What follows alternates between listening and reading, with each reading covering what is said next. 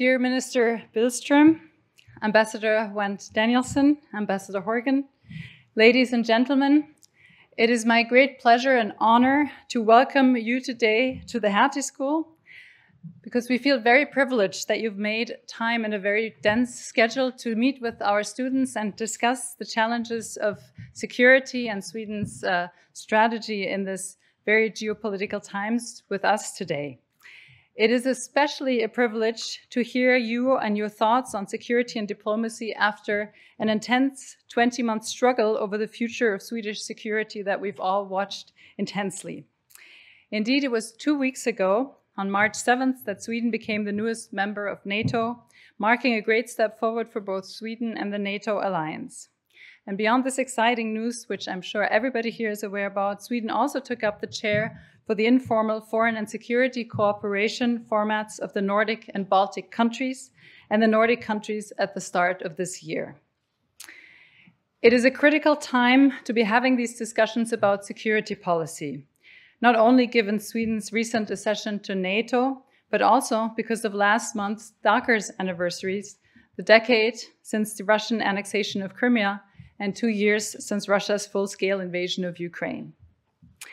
This war has forever changed Europe's security architecture. In Germany, we've given it a name. We called it Zeitenwende, a paradigm shift that has thrown this country into a crisis of purpose. Indeed, policymakers and experts with many questions meet still to chart the way forward. And the happy news around Finland's and Sweden's recent accession to NATO has reminded us of one fundamental truth. It is vital that we start, that we chart these new waters together as an alliance. At the Hertie School, with our 800 students from over 80 countries, we care deeply for these questions and we work with our partners around the world to learn from other countries' experiences and to learn from one another, whether it is Columbia University in the US or the Stockholm School of Economics, our Swedish partner. As, a European, as the European security changes, uh, changes, as the European security space changes in drastic ways, we're incredibly proud to be contributing to this debate. Our Center for International Security was launched in 2016 to establish a hub for examining the complex security challenges of the 21st century in the heart of the German capital. Conducting research in a range of areas from grand strategy to cyber threats, it is of the utmost importance to us that our work does not remain within the walls of the ivory tower. We want to engage with policymakers and speak to citizens alike in discussions on these topics. And we would like to serve as a bridge builder and inform the public debate. So, who better to host and listen to his vision for the future of European security than the foreign minister of the most recent NATO member, who has fought for a new direction in Swedish security strategy?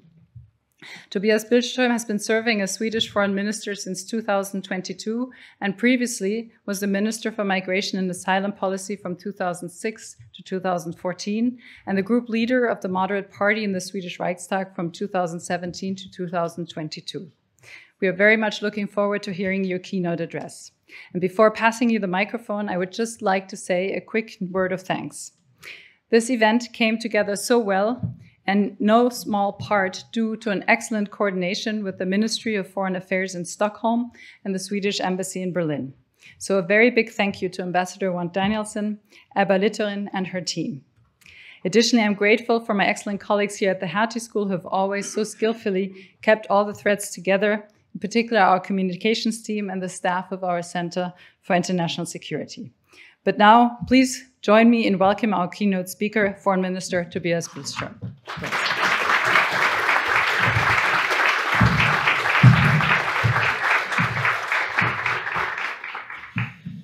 Ja, danke, danke vielmals. Thank you, dear President Woll, dear students, members of uh, the diplomatic corps, ladies and gentlemen.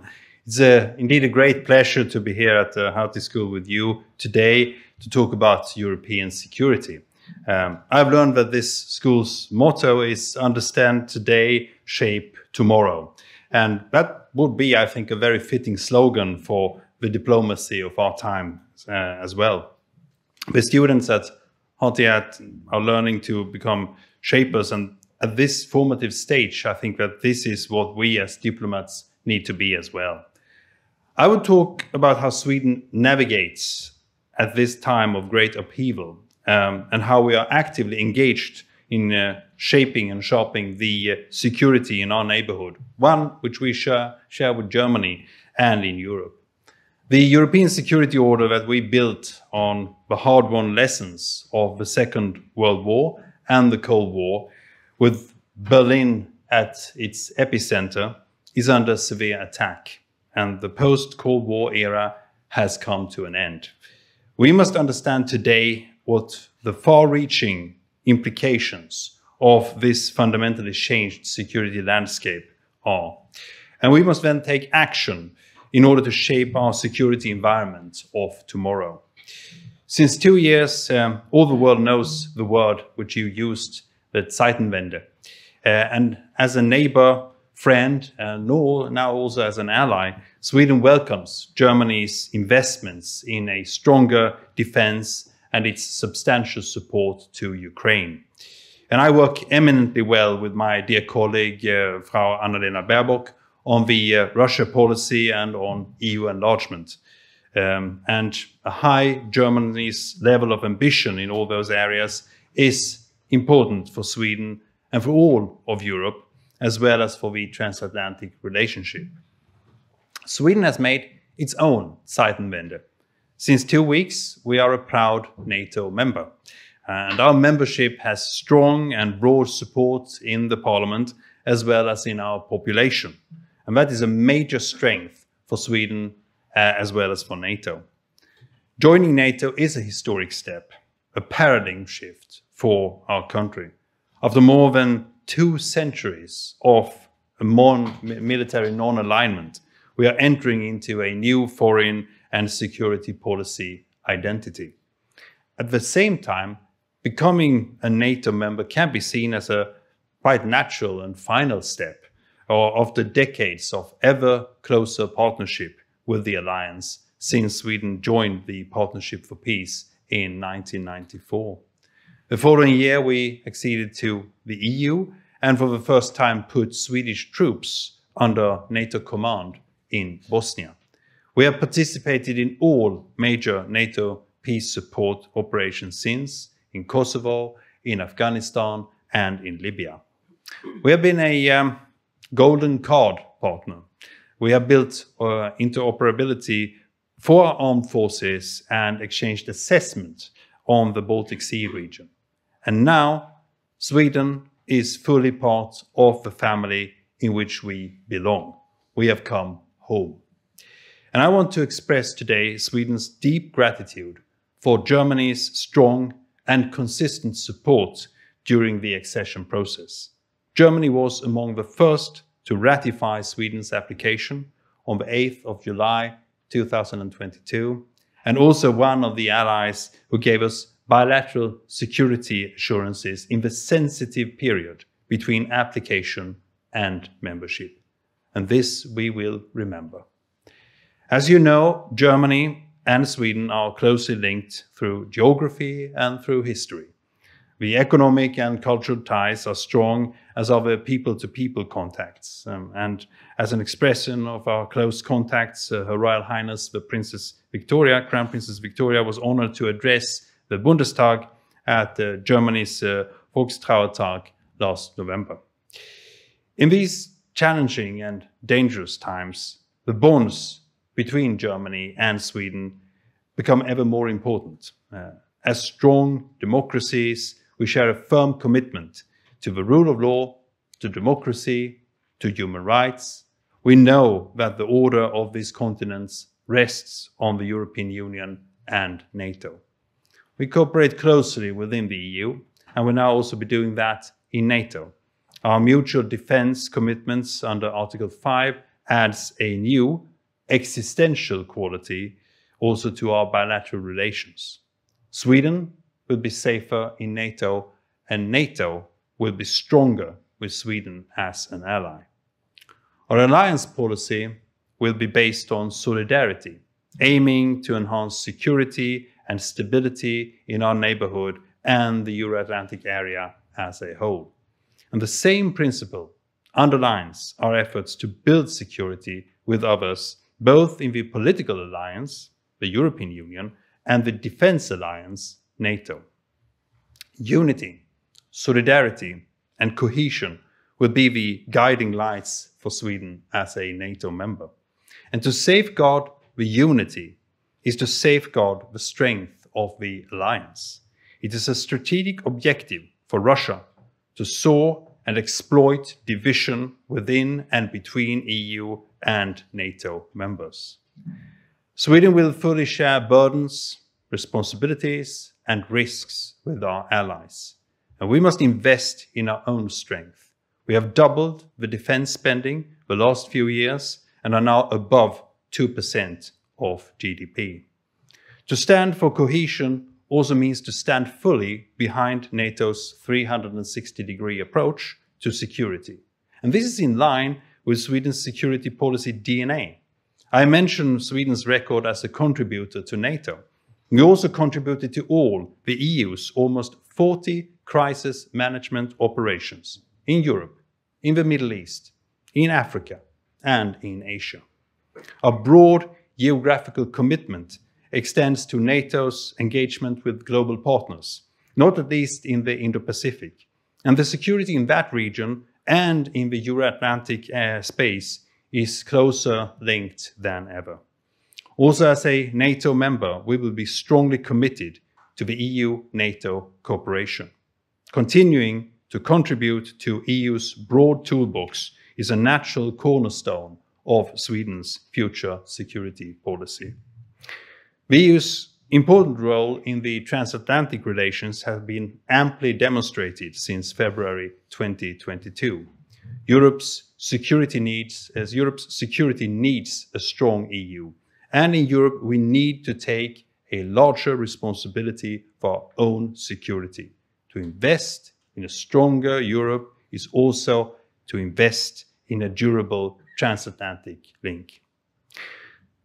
While I myself have advocated for Swedish membership in NATO for many years, it was Russia's full scale invasion of Ukraine that brought Sweden and Finland into the alliance. And that is the opposite of what Russia intended. As you may know, in December 2021, Russia presented, in terms of an ultimatum, unacceptable demands on a new security order in Europe. One aim was to deny Sweden and countries like Sweden the right to join NATO. Another objective was to push the US and NATO back and, in effect, leaving countries close to Russia open to coercion. And this Russian objective remains. Sweden's choice for NATO is a sovereign free and democratic decision. And that is in itself a victory for freedom and for the invaluable right of every European state to choose its own security arrangements. And our analysis is clear. Russia will remain a serious threat to European security for the foreseeable future. Russia has for a long time demonstrated its willingness to use military means for political objectives. And with the full scale invasion of Ukraine, Russia further lowered its threshold for the use of military force. It is willing to accept high risks, higher than we have seen before, and to accept great losses. It has made a number of miscalculations. Step by step, it has withdrawn from agreements of arms control and confidence building measures, both conventional and nuclear. And we must plan and prepare for a prolonged confrontation with Russia. We must counter Russia's expansion of power by continuing to constrain its influence, its freedom of action, and ultimately its ability to do harm. And at the center of our efforts are a firm commitment to standing up for Ukraine's freedom and sovereignty. This is and will remain the top priority for Sweden's foreign policy. It is clear what is at stake. Russia is waging war to rebuild an empire and to destroy the European security order, to replace right with brutal might. So Ukraine is fighting also for our security and our freedom. And the outcome of the war, which largely depend and will depend on our support, will shape Ukraine and Russia, but also Europe for generations to come. No one desires peace more than Ukraine, whose people suffer the consequences of Russia's brutal aggression. But peace at any cost would only invite further aggression. It is up to Ukraine, and to Ukraine only, to decide if and when the moment is right to negotiate. And let us never, ever lose out of sight that Russia could end the war at any time by withdrawing its troops. But it doesn't.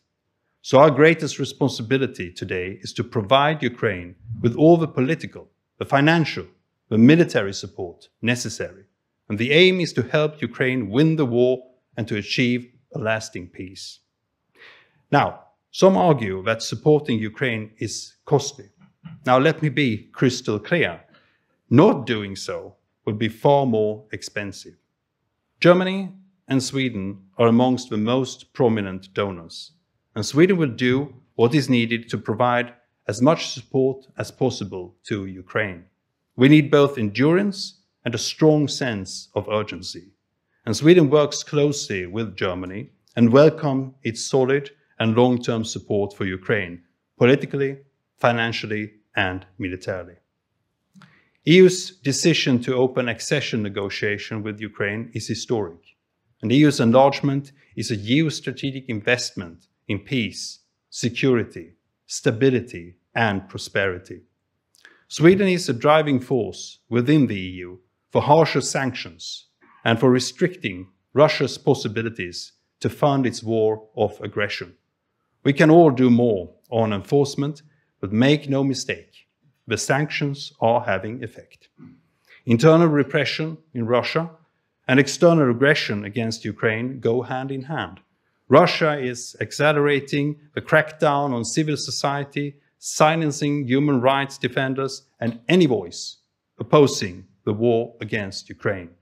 The last example is the tragic death of Alexei Navalny, for which the ultimate responsibility lies with the Russian leadership. Sweden, together with 11 member states, have recently proposed that the EU established a sanctions regime specifically designed to address the repression against civil society in Russia. The idea is to receive broad support, and we hope that we quickly can move forward towards its, uh, its adoption. After Finland's and Sweden's accessions, all countries around the Baltic Sea, except Russia, are now members of the alliance. This fundamentally redraws the security map in our part of Europe. Sweden and Finland will allow an increase of NATO's operational depth and, the tie, uh, and tie the High North, the North Atlantic, and the Baltic regions more closely together. Sweden's geography and military assets can significantly strengthen the alliance's ability to carry out operations in Northern Europe. We will work with our allies to make the best possible use of these assets in support of NATO's deterrence and defense. Sweden will fully harness the opportunities to strengthen the deterrence and defense also of our neighbors, the Nordic and the Baltic states, and to some extent also Germany and Poland. These opportunities are further strengthened by our recently signed bilateral defense cooperation agreement with the US, which goes hand in hand with our NATO membership. It is a sign of unity and facilitates NATO planning that all Nordic states now have signed similar agreements. As Baltic Sea states, we face common challenges and have everything to gain by working together to strengthen the security of the region. Sweden and Finland's accessions creates new opportunities for foreign and security policy cooperation as well. And as chair of the informal Nordic and Nordic-Baltic foreign policy cooperation this year, Sweden will facilitate a deeper dialogue on regional security issues. My Finnish colleague, Ms. Elina Valtonen, and I have also proposed an informal discussion on these topics among the 10 countries, including Germany and Poland, at the margins of the upcoming foreign ministers meeting of the Council of the Baltic Sea States. Germany is an important actor and can play a central role in the security and defense of the whole region. The further engagement from Germany in the Baltic region is in this respect very welcome. The intent to deploy a brigade to Lithuania is a clear signal of Germany's commitment to the region. And I'm convinced that a strong Baltic Sea region, fully anchored in the EU and NATO, is in our shared interest. In this school where we are now, a new generation of uh, shapers of a future for Germany and for Europe is being formed. That is you who are in this room today. I have talked about the building blocks that Sweden sees as most important as we try to shape within our means and together with our partners the future security in our part of the world. These building blocks our membership and role in the EU and NATO, a stronger regional cooperation, a long term Russia policy, the support to Ukraine are all interlinked. They are individually important, but taken together, they form a greater whole. In this shaping endeavor, Germany will be an indispensable partner for Sweden, bilaterally, regionally, in the EU, and from now on also as allies in NATO. Thank you very much.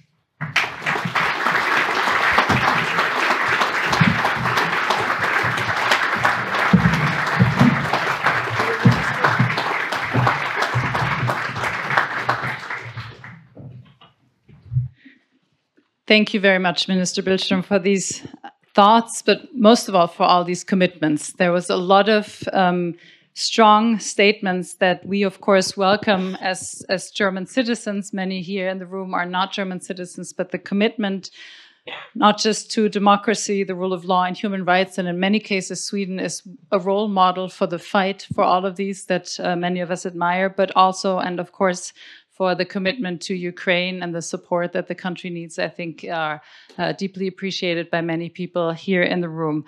I always have the privilege to ask the first question, but we only have an hour with you. So I want to give that privilege away to the room. I know many of you have come to ask a question, and I know the material here is wide. So I will immediately open it up, and you have to just raise your hand in order to speak. I see two hands here, and I do not know who has the mics, and then I see two over there. We'll group questions and one in the middle.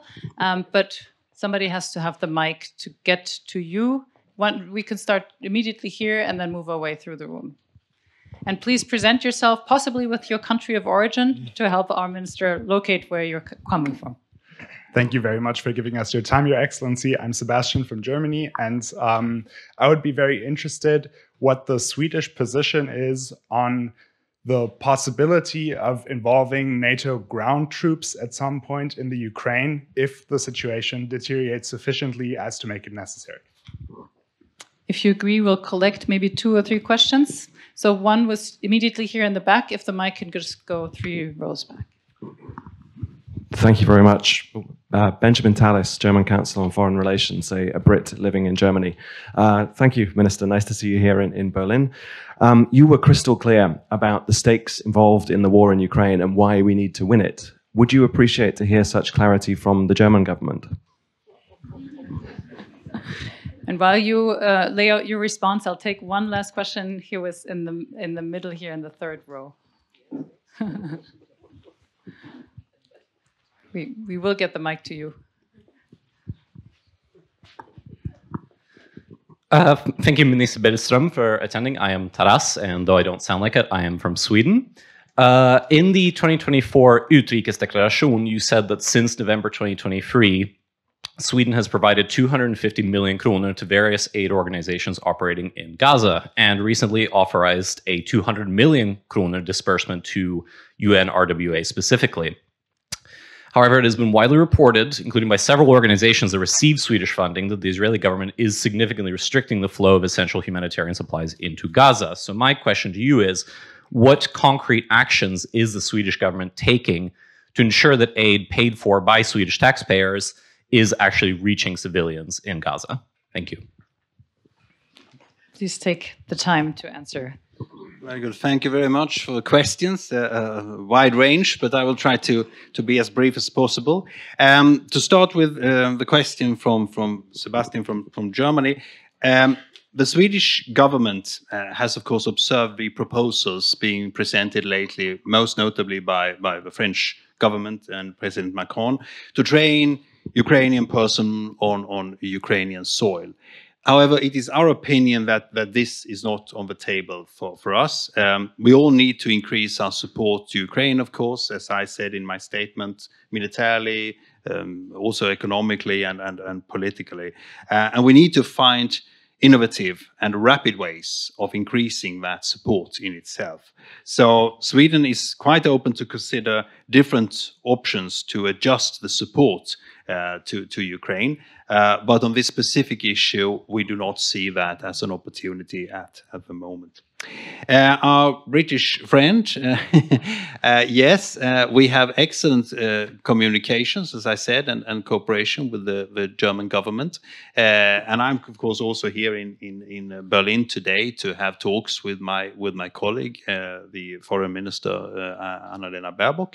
and of course, my position here is the one which I will which I will give her, and and also ask that we again try within the EU to become more clear and more, uh, how should we say, unified on the support needed to Ukraine. The long-term support to Ukraine is the only way forward.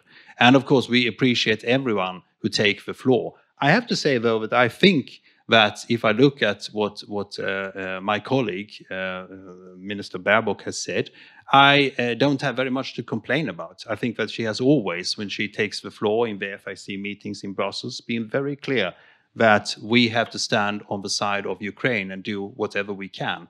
Um, however, um, we, of course, can always do more, as I just said. Uh, and finally, this is a very good question uh, because you're quite right. It's not just about allocating money and buy supplies. It's also a question of trying to bring them to those people who are now in dire need in Gaza as we see this humanitarian catastrophe unfold with so many people, especially children, being, being dead and being killed.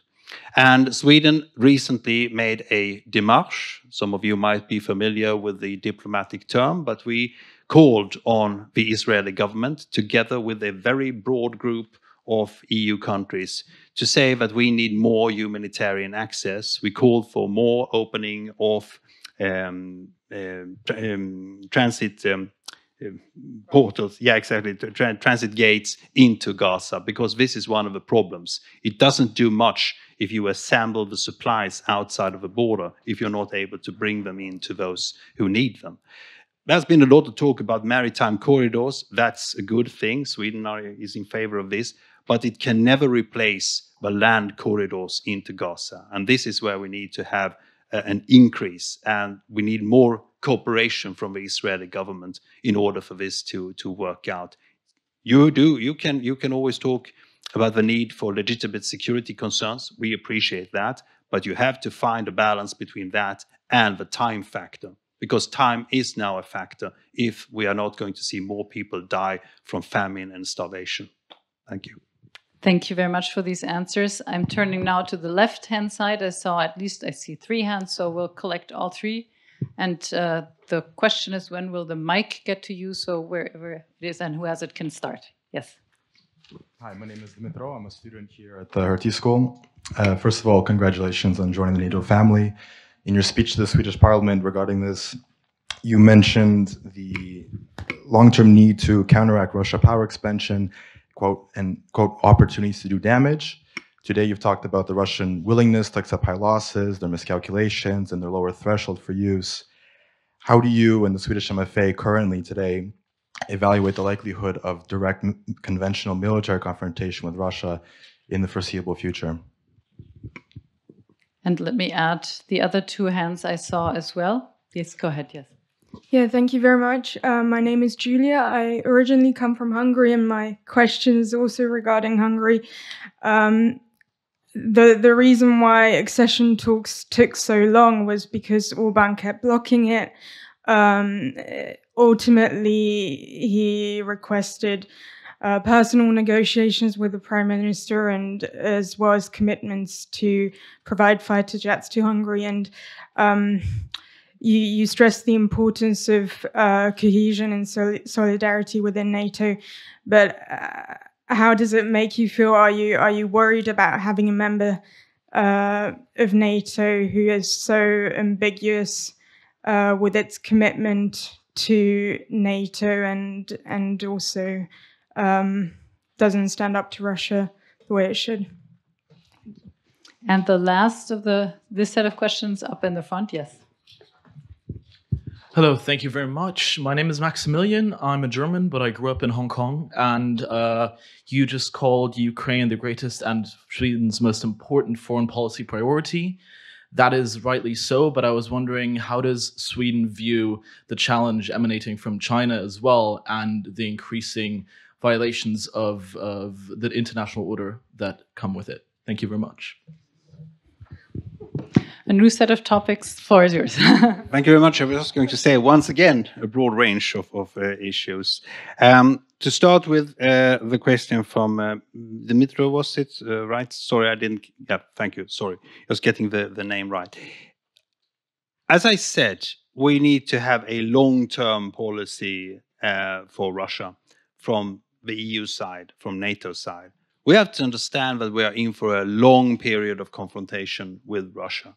And we cannot rule out that the since the long-term aim of Russia laid down, as I said already in 2008, perhaps at, at, at uh, President Putin's speech at the Munich Security Conference, where he spoke about the need to establish spheres of interests and spoke about the uh, the Vienna conference being the yeah, the peak of diplomacy, where big states sit down at the table, carving up the world and allocating places for smaller states. Something which, in my view, and the view of the Swedish government, is exactly opposite to the view which we take, namely that we live in a multilateral society after the Second World War with the establishment of the UN Charter and going back to those dark days where bigger states told smaller states is a return to to to to uh, to the past. So understanding this and understanding that the letters being sent in 2021 by Sergei Lavrov on, on the uh, uh, on the, the, bidding of his master Putin, uh, where he said a lot of things about security spheres again, means that Russia really wants to recreate its empire. It's actually quite interesting when you look at the coat of the arms. I don't know if you have noticed that, which President Putin sits under when he gives his speeches. If you look in that coat of arms, which is the old Russian imperial coat of arms, you see smaller coats of arms. Have you noticed them? They are the coat of arms of Finland, of Lithuania, of Poland, so if you ever want to understand what Russia has for long-term ambitions, you can just look at that coat of arms and understand what this is all about. So again, coming back to the question, long-term confrontation, and I don't rule out that Russia will try and test NATO and test us on certain issues. And we can already see that happening in some cases we can just look at the missiles sometimes dropping down in Poland as one of the examples, or the way that Russian fighter pilots behave over the Baltic Sea when they fl fly closer in reckless maneuvers against not only NATO planes but also Swedish planes before we entered NATO.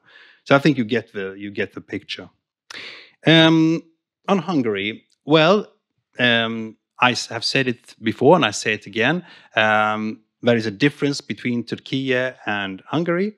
Uh, with Turkey in 2022, when we uh, handed in our letter of, of intent to join NATO, uh, Turkey voiced uh, issues with Sweden, issues regarding uh, their security and the threat of terrorism, which we took seriously. There was a, a clear memorandum written down, and the point here is that Turkey was very clear on what they wanted, what they, they, they had to to ask for.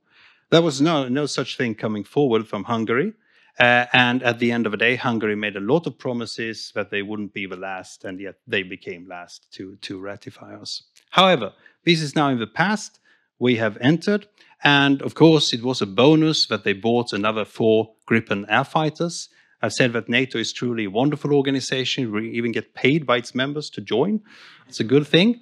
So we don't really have a beef in that regard with, with Hungary. Uh, and as for the criticism uh, that has been voiced uh, with, with uh, Hungary under Article 7, that is in the hand of the Commission. And like all other member states, we stand behind the Commission in that criticism.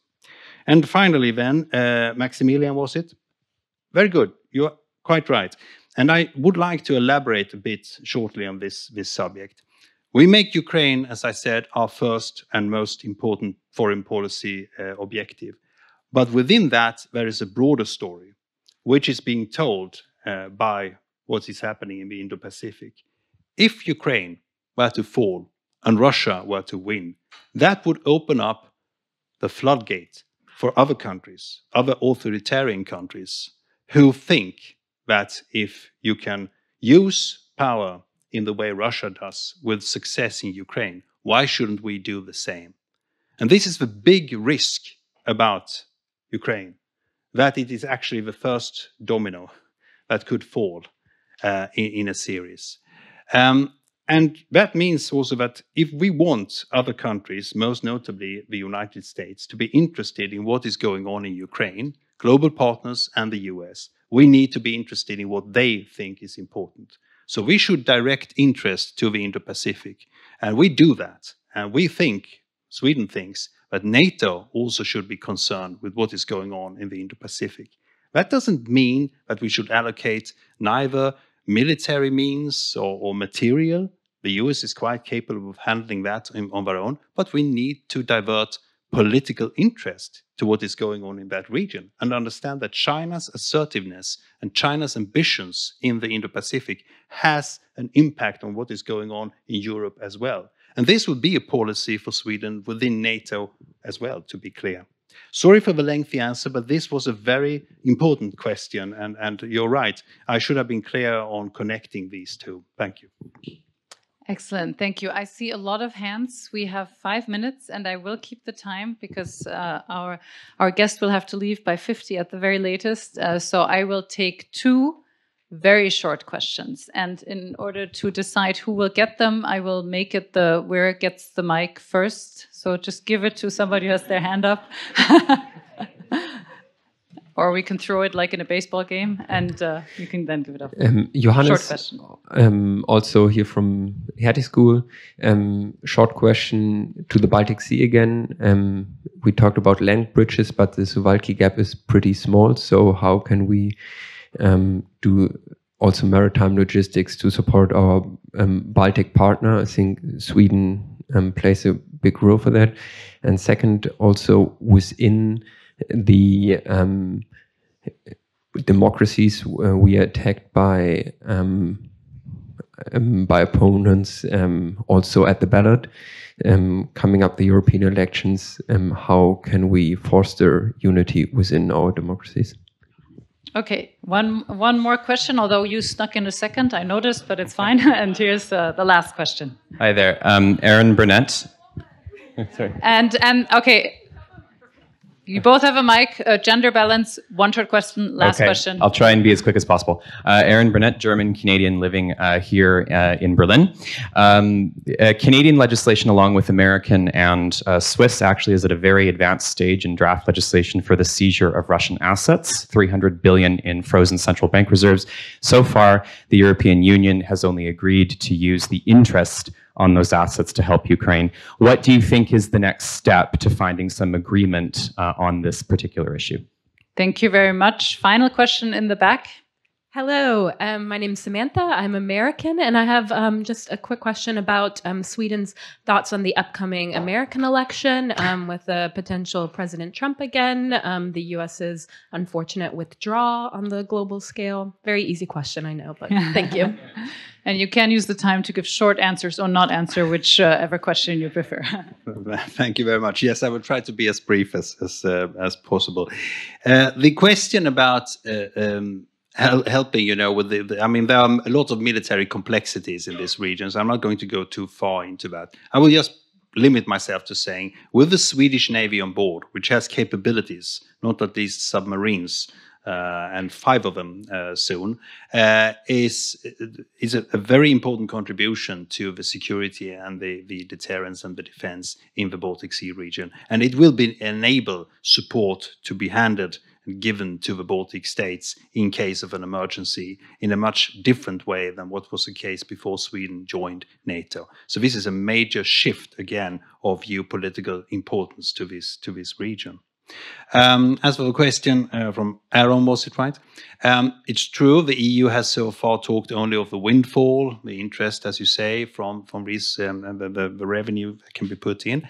We are not averse to continue the discussion, the important thing here is to take in the legal difficulties. We don't want question, we, we don't want um, instruments uh, amounting to confiscation to find its way into our normal practice and to find a balance between this so that you do not um, how should we say encourage the discussion of, of, the right to confiscating uh, assets uh, to, to make to, to make headway with that. I think it's important, but we should continue the discussion in the EU. And at the end of the day, of course, there is a legitimate right from Ukraine to ask for compensation from Russia, and the form of that compensation remains open to questions. I'll limit myself to that.